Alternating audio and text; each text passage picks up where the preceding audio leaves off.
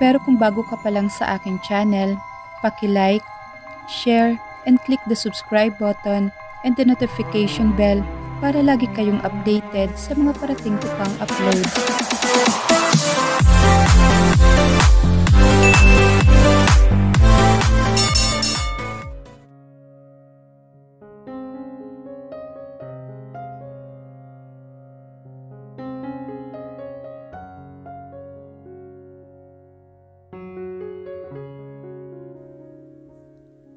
Nagising si Dana na wala na si Sebastian sa tabi niya.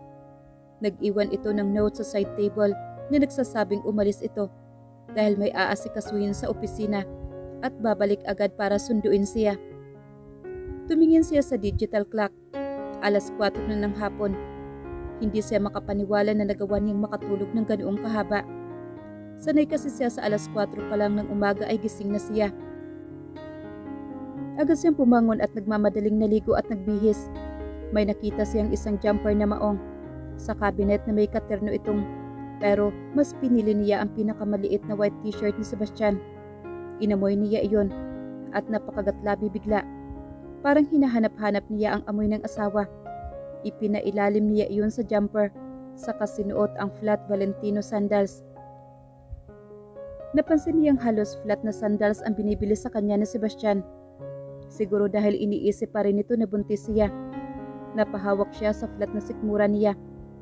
Hindi pa siya nagkakaroon at kahit kailan, hindi pa siya nadidelay. Regular ang menstruation niya. Simula pa noong dalagita siya. Pero wala naman siyang ibang nararamdaman, gaya ng pagkahilo o pagsusuka. Wala rin siyang pagkain na nahihiligan niya. Baka siguro, stress lang siya. May nabasa kasi siya dati na Minsan kaya nadidelay ang mga babae dahil sa stress. At nitong mga nakaraan linggo ay hindi lang stress ang nararanasan niya, kundi depression na rin. Kung hindi siya pinalaking may takot sa Diyos, ay nagpatiwakal na siya. Bumuntong hininga si Dana at inayos ang sarili. Pinatuyo niya ang buhok at ipinusod iyon. May mga cosmetic na binili sa kanya sa Sebastian, pero hindi niya iyon ginagamit kaya pulbo at manipis na lipstick lang na pinahid niya sa labi ang ginamit niya. Kulay pink iyon. Pinagmasdan niya ang sarili sa salamin. Nagmukha siyang high school student dahil sa ayos niya, lalo na at 5 feet 2 inches lamang ang height niya. Maraming nagsasabi na bata siya kaysa sa tunay niyang edad. 24 na siya pero madalas siyang mapagkamalang 19. Hindi niya alam kung matutuwa doon o maiinis dahil minsan nagiging tampulan siya ng mga kantyaw ng mga kaibigan. 5.30 na at gutom na gutom na siya. Wala siyang almusal at tanghalian. Mukhang diretso sa hapunan ang kain niya ngayon. Halos madaling araw na kasi nang lubayan siya ng Sebastian. Kung hindi pa siya nagreklamo, hindi pa siya nito titigilan. Para ba itong hindi nauubusan ng lakas Namula siya sa alaalang iyon sa mga nangyari kagabi. Yun ang unang beses na hindi siya nandiri at nagalit na may nangyari sa kanila ni Sebastian. Tumutugon at hindi tumututol ang bawat bahagi ng katawan niya sa ginagawa nito sa kanya. Dinala siya nito ng paulit-ulit sa langit. Napalingon siya sa pintuan nang biglang bumukas iyon. Nanlaki ang mga mata niya nang makita niya si Dunya Marisa na nakatayo sa pintuan. Naglakad ito papalapit sa kanya. Huminto ito sa likuran niya at pinagmasdan ang refleksyon niya sa salamin. Magandang hapon ho doon niya Marisa. Gabi na iha. Malamig ang tinig na putol nito sa kanya. Napayuko naman siya. Nailang siya sa titig nito na parabang nang uuyam. Ano ba yung suot mo? Maarting sabi nito. Hinila nito ang manggas ng t-shirt niya. Balak mo ba talagang ipahiya ang pamilya namin? Look at you. Wala kang kaklas-klas. I can't believe that this is happening to my family. Kahit minsan, hindi ko pinangarap na mahaluan kami ng mga kagaya mo. A low-class public teacher na mahilig magdidikit sa mga hindi naman ka-level. Tumaas baba ang dibdib ng Donya. Halata ang pinipigil na galit nito. Napayo ko naman siya sa sinabi nito. Nanliit siya at gusto na niyang lumubog sa kinauupuan. Kinagatiya ang labi para pigilan ang luhang gustong kumawala sa mga mata niya. Gusto niyang sagutin ito. Ipamukha dito na hindi naman niya ginustong makasal sa anak nito. Pero hindi niya magawa. Ang sabi ng lola niya, kahit anong bato ng isang tao sa'yo, huwag ka raw gaganti. Hayaan mo lang na ang Diyos ang gumanti para sa'yo. Kinalakihan na niya iyon. Mga pangaral na noong una ay tinututulan niya pero kalaunan ay nakasanayan niya na rin. Hindi raw pagiging mahina ang hindi paglaban. Bagkus iiwas ka lang nun sa mas malaki pang problema. Kaya mas mabuti pang tumahimik na lang siya. Ayaw niyang lalong magalit sa kanya ang Donya. Ito pa naman ang klase ng tao na kapag lalo mong kinontra, lalong hindi ka titigilan at ayaw niya mangyari iyon. Hanggang maaari, iiwasan niya na magalit ito sa kanya. I'm sorry po. Hingim pa umanhin ni Dana. Lalong tumaas ang mataas na kilay nito. Bumukas ang bibig nito para magsalita pero napigil iyon ng bumukas ang pintuan at sumilip ang ulo ng daddy na Sebastian. Nandito ka lang pala. I'd been looking for you. Pinaikot nito ang mga mata at tatawa-tawa. Bumaling ang tingin nito sa kanya. Nawala ang ngiti nito tapos ay nagdududang tiningnan ang asawa. Ano na namang kalokohan ang ginagawa mo Marisa? Nag-aakusa ang boses nito pero may lambing pa rin doon. Tuluyan na itong pumasok at tumalikip-kip na nakatingin sa asawa. Para itong isang magulang na nahuling may ginagawang kalokohan ang anak. Umismid lang si Dunya Marisa at walang sali-salitang lumakad palapit sa pintuan. Binunggo pa nito ang balikat ng asawa bago lumabas. Isip bata, iiling-iling na bulong nandon sa ginawa ng asawa. Tumalikod na rin ito pero bago lumabas ay lumingon pa sa kanya. You are lovely. No wonder my son is head over heels in love with you. Ngumiti ito na tila nanunodyo sa kanya.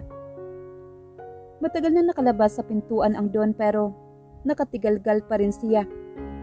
Paulit-ulit na umaalingaw-ngaw sa isip niya ang sinabi nito. In love daw sa kanya ang anak nito. At bakit ba parang kinikilig siya? Hindi na mabilang na Sebastian kung ilang beses niyang tinitingnan ang relos niya. Halos mayat maya ang silip niya doon. Inip na inip na siya. Gusto na niyang matapos ang board meeting at sumakay sa kotse niya at paharurutin iyon pabalik sa asawa niya. It's been 7 hours, 52 minutes and 29 seconds since the last time na nakita niya ang asawa. Naghihina na siya. He needed his vitamins a daily dose of his happy pill, his wife. Sinuri niya ng tingin ang mga board members. Dignified and respectable. Pero wala siyang pinagkakatiwalaan sa mga ito. Alam naman niyang tutol ang mga ito na siya ang tumayong CEO at mas malaki ang tiwala ng mga ito kay Jonathan. Wala nga lang magawa ang mga ito dahil siya ang may hawak ng 30% share sa kumpanya at madadagdagan pa iyon sa oras na magkaanak sila ni Dana. Ang 40% ay nakapangalan kay Don Damian Arcega at hindi niya alam kung bakit dito ito ibinigay ni Don Jose Almendra gayong walang balak sa Arcega na pamahalaan ang Almendra International. Ang natitirang 20% ay pinaghahatian ng mga nasa harapan niya ngayon. Nang mamatay si Don Jose Almendra, nag-iwan ito ng last will. Ang 80% share nito sa kumpanya ay paghahatian ng lolo niya at ni Don Damian Arcega. Ang lolo naman niya ay kinausap ang dalawang anak nitong lalaki, which was ang papa niya at ang papa ni Jonathan. Sinabi ng lolo niya na ang shares na nakuha nito sa matandang almendra na matalik nitong kaibigan at ipamamana nito kung sino ang magpapakasal sa apo nito. Nabigla siya nang malaman na si Dana ang isa sa apo nito na kailangan nilang pakasalan. Ang ina ni Dana ay anak sa labas ni Don Jose Almendra. Hindi raw nagkaroon ng pagkakataon na kilalanin nito na anak at dahil na rin sa asawa ng Don. Walang anak si Don Jose sa asawa nito Sa imbis na mga apo nito ipinamana ang mga naiwan, ipinamana nito iyon sa dalawang best friend nito kung bakit ay hindi pa malinaw sa kanya. Pero may hinala na siya. Sa tingin niya ay naatasan ng Don ang lolo niya at si Dong Damian na ipakasal ang isa sa mga apo nito sa mga apo ni Don Jose. Hindi malabong mangyari iyon dahil sa pagkakaalam niya Magkababata ang tatlo na halos magkakapatid na ang turingan ng mga ito. Dana was his best friend since he was 10 years old at may pagtatangi siya dito. Alam iyon ni Jonathan at ng papa niya. Kaya naman inaasahan ng lahat na siya ang pakakasal kay Dana. Kampante siya sa bagay na iyon, lalo na at may sarili ring namang kumpanya si Jonathan, bukod pa sa kumpanya ng lolo nila. Hindi niya akalain na magkaka-interes si Jonathan sa mana. Pero nagkamali siya. Sa bagay, pera nga naman iyon. Hindi niya agad iyon pinagtapat kay Dana. At kung maaari, ay ayaw na niya iyong sabihin dito. Dahil ayaw niyang isipin ito na kaya niya lang ito pinakasalan ay dahil sa mamanahin niya kapag pinakasalan niya ito. Kaya naman hinayaan niya itong matupad muna ang pangarap nitong maging guro. At siya naman Sinunod ang gusto ng daddy niya na magmasteral siya sa ibang bansa. Akala niya okay na ang lahat pero nalaman niya na lang na naligawan at naging nobya ito ni Jonathan. Hindi siya makapaniwala noong una. Alam ni Jonathan ang damdamin niya kay Dana. Akala niya rin na may pagtingin na rin ang huli sa kanya. He felt betrayed both to Jonathan and Dana. Kinausap niya ang pinsan Sinabi niya kung gaano niya kamahal si Dana. Ipinangako na kahit siya ang pakasalan ni Dana, ay ibibigay niya dito ang mana pero masyadong ganib ang pinsan niya. Pinagtawanan siya nito. Hindi raw ito naniniwala. Tila naging baliw ito. Hindi niya kayang tanggapin na may ibang aangkin at magmamay-ari kay Dana. So, he did what he did. Pinwersa niya at blinakbil si Dana. Wala na siyang pakialam kung kasuklaman siya nito.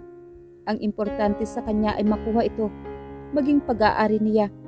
Mababaliw siya kapag napunta ito sa iba.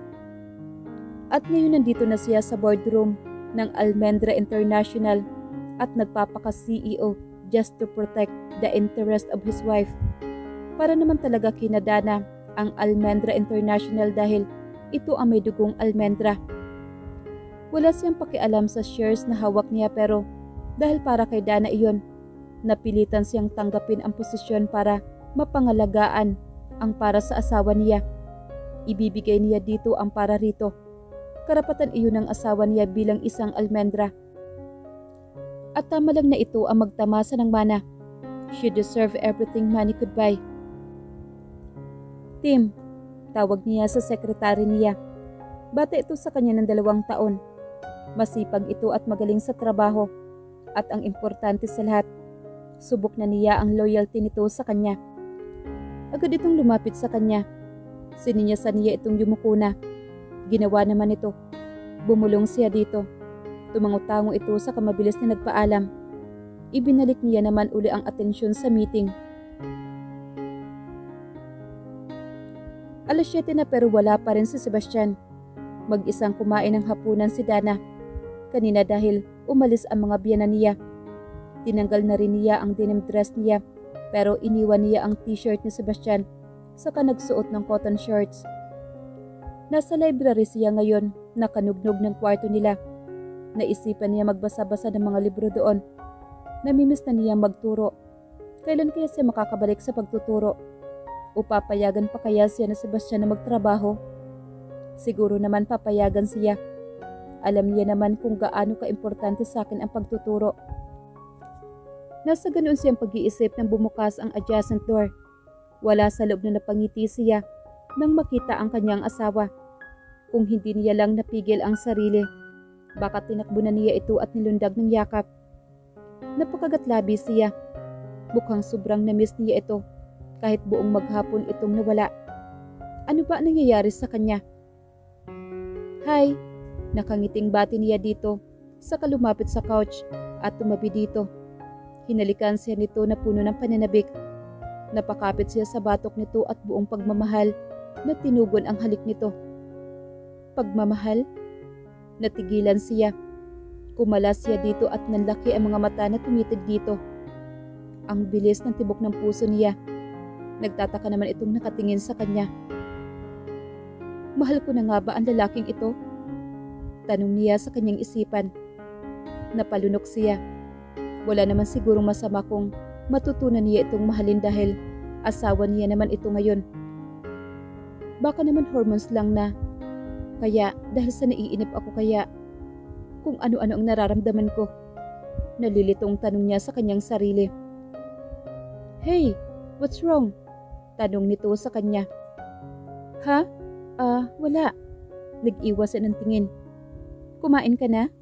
Tanong niya na lang dito. Medyo naiilang siya sa titig nito. Para bang nakikita nito ang kaloob-looban niya. Hindi pa nga eh.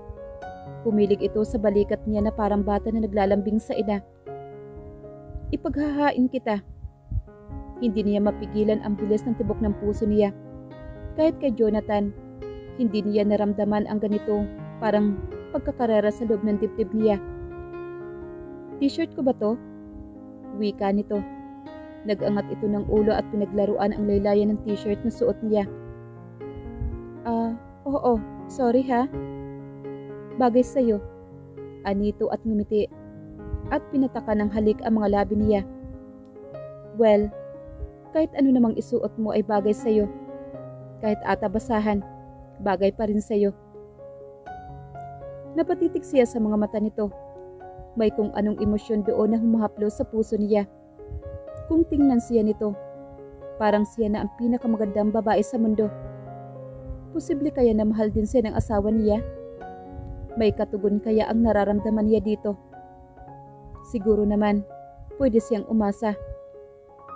Dahil bakit siya nito pipilitin magpakasal? kung wala itong nararamdaman para sa kanya. Hinawin nito ang buhok niya at tinitigan ang mukha niya sa paraang parang kinakabisado iyon. May regalo ako sa iyo. Excited na sabi nito. May dinukot ito sa bulsa. Isang susi iyon. Inabot nito iyon sa kanya. Para saan to? Takang tanong niya dito. Susi ito ng sarili mong sasakyan para kung hindi man kita masundo, may magagamit kang sasakyan pagpasok sa school. Nanlaki ang mga mata niya. Hindi dahil sa binigyan siya nito ng kotse, kung hindi dahil sa sinabi nitong, Papayagan mo akong bumalik sa pagtuturo? Excited na tanong niya dito. Nagniningning ang mga mata niya. Yes, I know you love teaching. It's your dream. Hindi na niya pinatapos ang sasabihin nito. Hinawakan niya ang magkabilang pisngi nito at hinalikan. Nagulat ito pero maya-maya ay tumugon din sa halik niya. Nang maghiwalay sila, ay habol hininga sila pareho. Nakangiting tinitigan niya ito. Thank you. Puno ng sinseridad na sabi niya dito. Lumampot naman ang ekspresyon ng mukha nito. You don't have to. Ibibigay ko ang lahat ng gusto mo. Just Just stay with me. May lungkot sa mga mata nito. Ang boses nito ay puno ng pakiusap. Niyakap niya ito. Parang may kumurot sa puso niya sa nakikitang desperasyon dito. Hindi na nito kailangan magmakaawa sa kanya. Mananatili siya sa tabi nito dahil asawa niya ito. Don't leave me, Dana. Basag ang boses nito at humigpit ang yakap sa kanya. I won't. Pangako niya sa kaisinubsob ang mukha sa leeg nito. Promise? Parang bata na tanong nito. Napangiti naman si Dana. Promise.